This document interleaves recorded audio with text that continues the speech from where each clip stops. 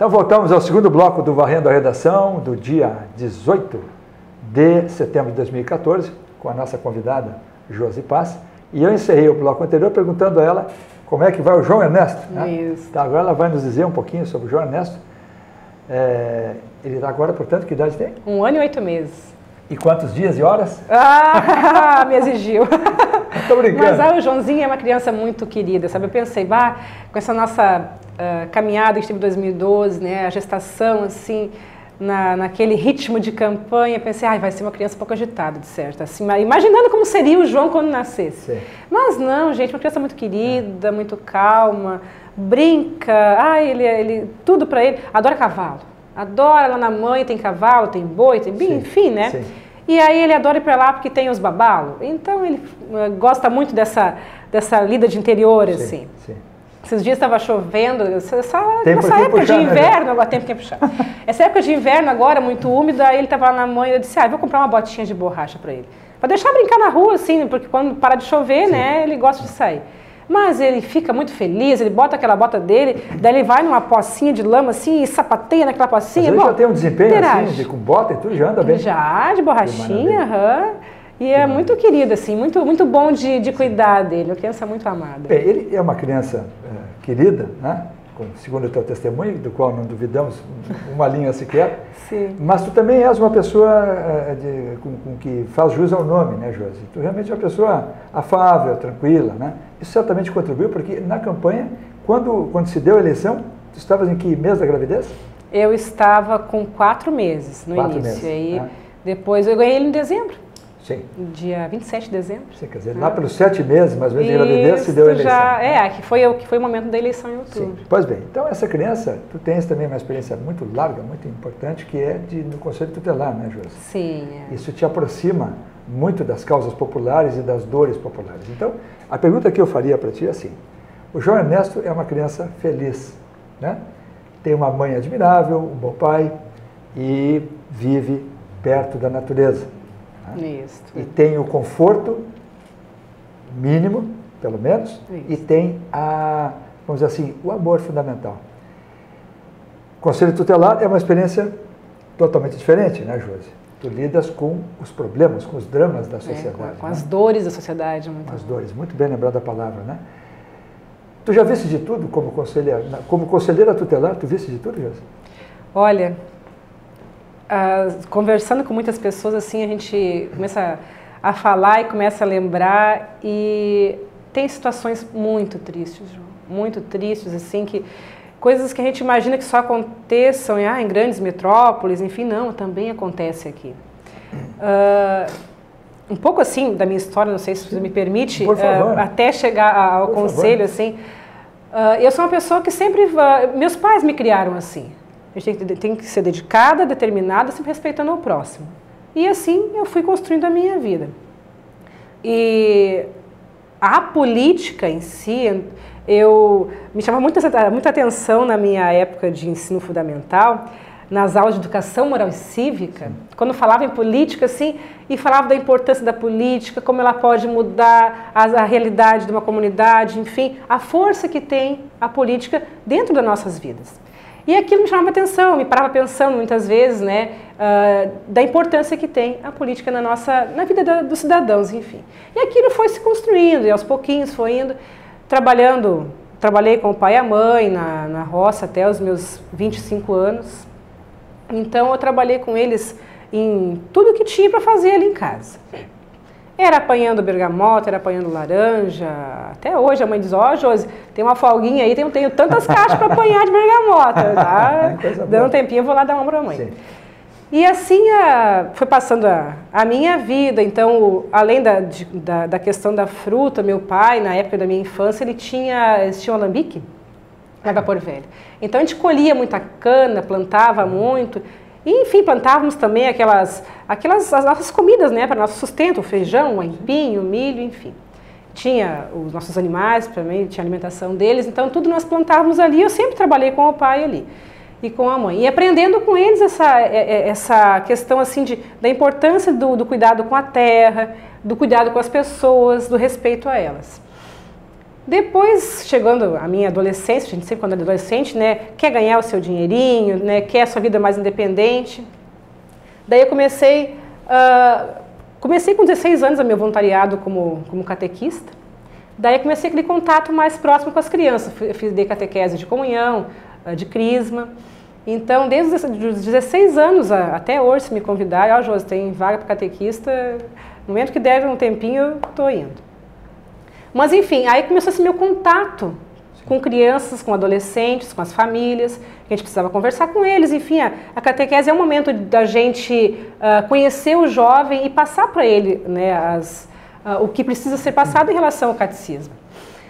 E aí, então, dentro desse meu voluntariado, então, continuando trabalhando com o pai e a mãe, estudando, e quando eu comecei a estudar na cidade, então, que daí sai do ensino fundamental, já não tem ensino médio, mas no, no interior, a gente vem para a cidade aqui na cidade também. Aí que eu comecei a ter o meu dinheirinho, né? A trabalhar, então, aqui, de manhã eu estudava, de tarde eu trabalhava no comércio da, da cidade. Em várias lojas eu trabalhei aqui na cidade. Também foi me, foi me passando aquele contato com o público, conversar com as pessoas, né? Apresentar os produtos que tinha a elas. E eu gostava, acabei começando a gostar desse contato com o povo. Tu gosta de gente? Eu comecei a, a, a interagir com as pessoas e gostar de, das pessoas, de lidar com elas, de conversar com elas, enfim.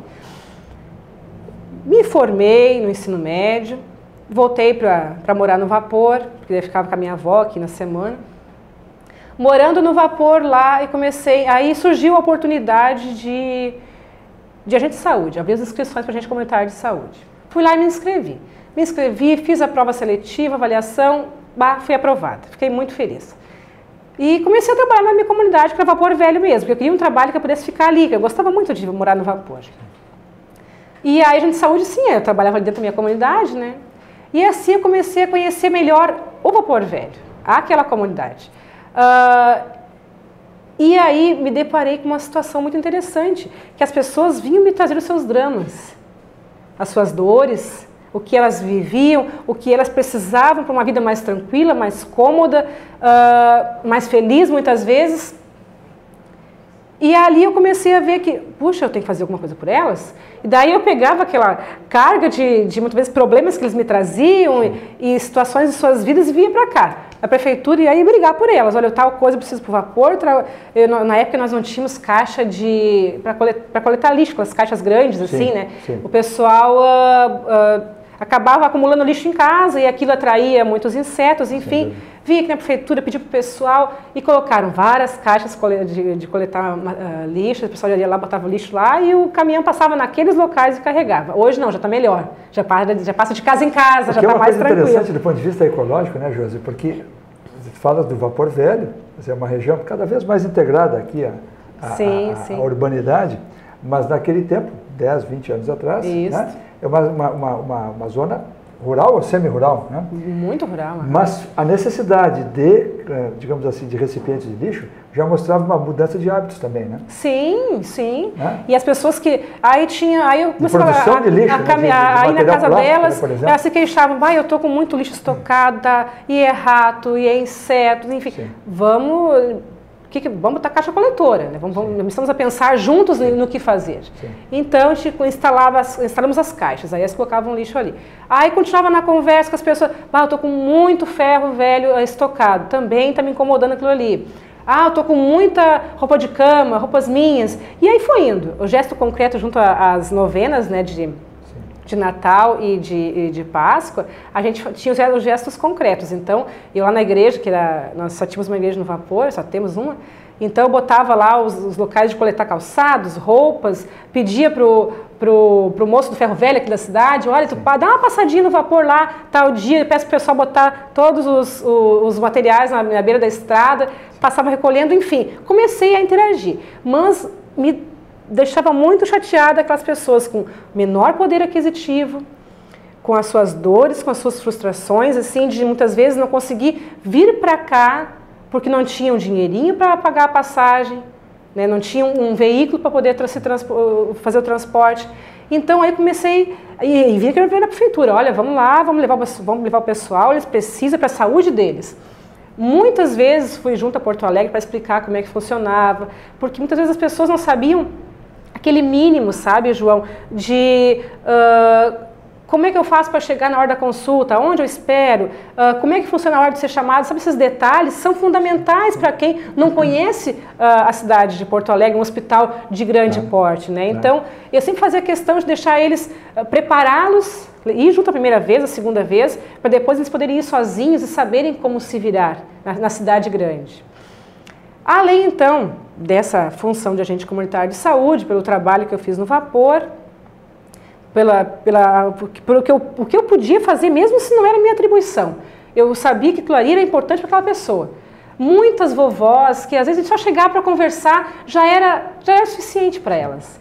Do, ouvir elas, dar atenção para elas. Eu já pintava a unha delas, eu já ajeitava o cabelinho, e tinha uh, outras, umas senhoras e senhores assim que, que não sabiam nem ler nem escrever e tinha medicação para tomar, um quarto, metade do comprimido. E aí eu ia um dia sim, um dia não naquela casa, independente se eu ia gastar mais gasolina da minha moto ou não ia, eu fazia aquilo por eles. Pegava, desenhava nos potinhos uma panelinha, um solzinho para de manhã, uma panelinha para meio-dia e uma luazinha para de noite. E ali eu picava o medicamento e botava. Até que ela aprendia a, a se virar sozinha. Sim. Então, tudo isso que eu fiz, aí depois chegou minha chefe, a Elisa na época, enfermeira do, do, PAN, Jô, tu não quer concorrer a, a tutelar? Daí eu disse, olha, eu acho que eu, que eu gosto de desafios, sabe, sabe João Batista? Uh, mais um desafio na minha vida. Então eu acho que eu vou aceitar. Eu vou me inscrever para concorrer para conselho tutelar.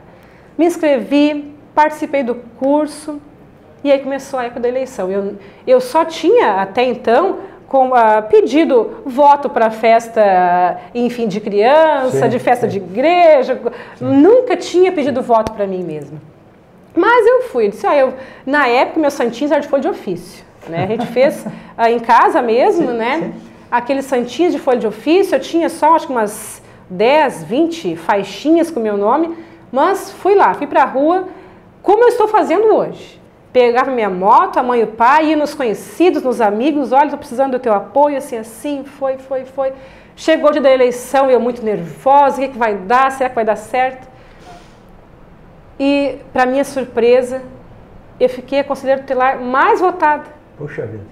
594 votos, se não, se não me falha a memória. Fiquei muito contente, eu disse, gente, olha só, que coisa interessante.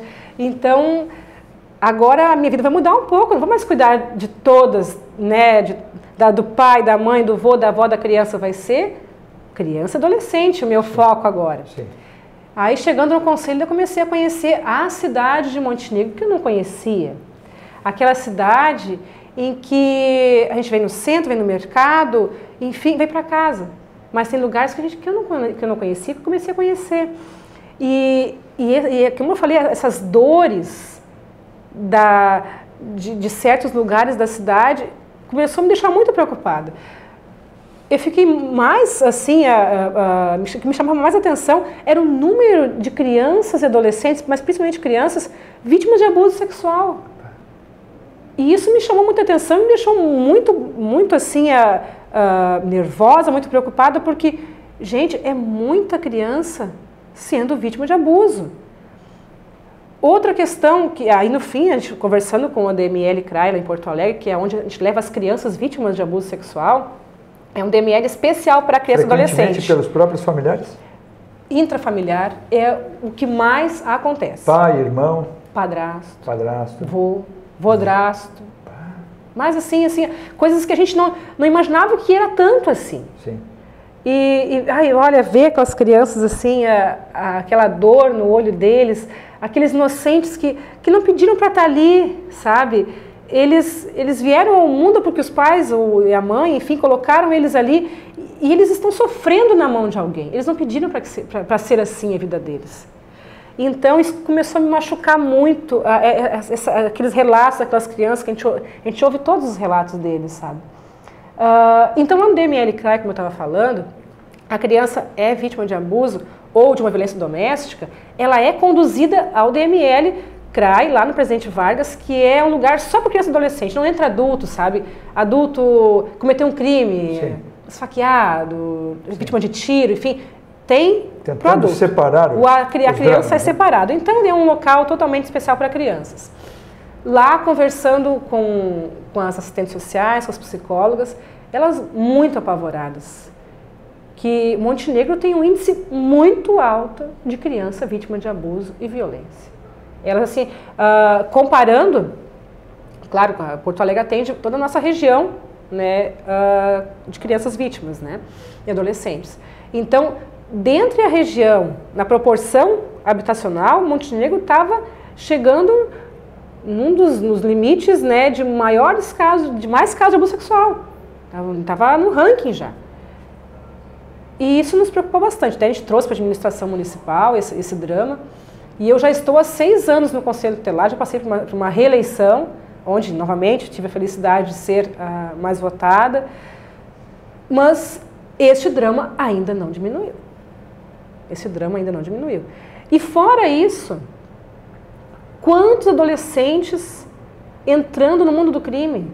E me dói muito, João, olhar uh, as reportagens dessa semana e ver que a, a, a, ação da Polícia Civil, da Brigada Militar, que prendeu essa, essa semana agora, né? Acho que foi ontem. Sim. Uh, várias, 24 locais operação, né, que, na é. operação deles, 24 locais que foram, que foram abordados, enfim, e, e muitos adolescentes. E saber que daqueles adolescentes, todos, a gente conheceu Toquinho, estou seis anos no conselho. Sim, sim e nós tentamos tentando trabalhar com a família, com eles, e, e vai para abrigo, e volta para casa, e hoje já estão adolescentes quase adultos Josi, no tipo, mundo do crime. Sem dúvida, mas que tipo de, de que tipo de família estamos falando, Josi? Claro, família como núcleo, né? mas há muita dissolução. Né? Muito. Há solução para todos esses dramas, Josi, sem a família? Mas nós precisamos trabalhar esta família se ela só tem, se nessa família, uh, se aquele adolescente só tem uma mãe, um pai, ou um responsável legal, ou um avô, trabalhar a afetividade, trabalhar o lado humano dessas pessoas. Isso, isso tudo, me, é, bom, enfim, né, vamos, vamos contando aos poucos, né. Então, esses, esses dramas todos, conhecendo essas realidades e vendo que não é só em âmbito municipal, não é só o nosso prefeito, nosso prefeito, nosso gestor que deve mudar somente a realidade de Montenegro. A região toda ela está com esse drama. Né? De ter de, crianças que sofrem, desses, desses jovens que entram no mundo do crime, de, de trabalharmos uh, mais a questão vai pra, foi para uma internação, eh, por exemplo, para desintoxicação, que ele é usuário de drogas, trabalhar mais a família que fica esperando para aquele jovem, porque ele sai da clínica, ele sai para entrar novamente na sociedade, né? Só que ele chega em casa, vê aquela casa do mesmo jeitinho que ele saiu. Vê aquele pai, aquela mãe, ou aquele responsável, aquele avô, enfim, quem ele teve por ele, daquele mesmo jeito.